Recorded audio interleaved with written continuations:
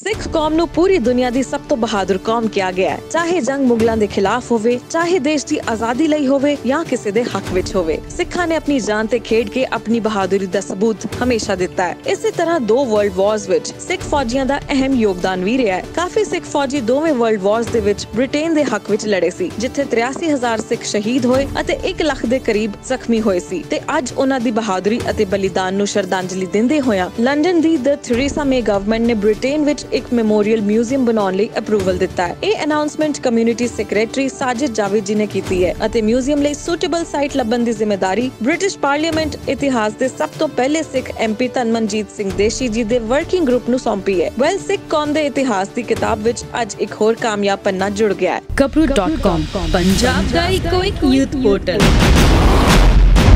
entertainment ਦਾ ਦੇਸੀ ਪੰਚ